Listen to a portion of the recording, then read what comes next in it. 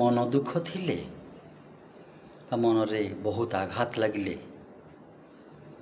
ଯଦି ଆଖିରୁ ଲୁହ ଝରୁଛି ମନ ଦେଇ ଶୁଣନ୍ତୁ ବହୁତ ଆଘାତ ଲାଗିଲେ କିମ୍ବା ଯଦି ବହୁତ ଆଘାତ ପାଇଛନ୍ତି ବା ପାଷ୍ଟ କଥା ମନେ ପକାଇ ଯଦି ଆଖିରୁ ଲୁହ ଝରୁଛି ନିଜେ ଲୁହକୁ ପୋଛିବାକୁ ଚେଷ୍ଟା କରନ୍ତୁ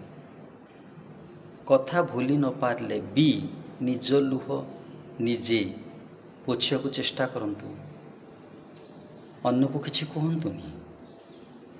अन्नको कहिले जतिसे लुह पोछाको आसब त सर्त रखि सदा गराइदा नै चेष्टाक नियतिर एटिक समयभित्र बहुत कि जोटा कि बहुत कि अनिष्ट कन्नको निज दुःख क्यापरे ଦୁଃଖ କମେଇବା ପାଇଁ ବହୁତ କିଛି ସର୍ତ୍ତ ରଖି ପୁଣି ବହୁତ କିଛି ଧ୍ୱଂସ କରିଦେଇଛନ୍ତି ବହୁତ ବଡ଼ କନସେପ୍ଟ ମୁଁ ଗୋଟିଏ ମିନିଟ୍ରେ କହିବାକୁ ଚେଷ୍ଟା କଲି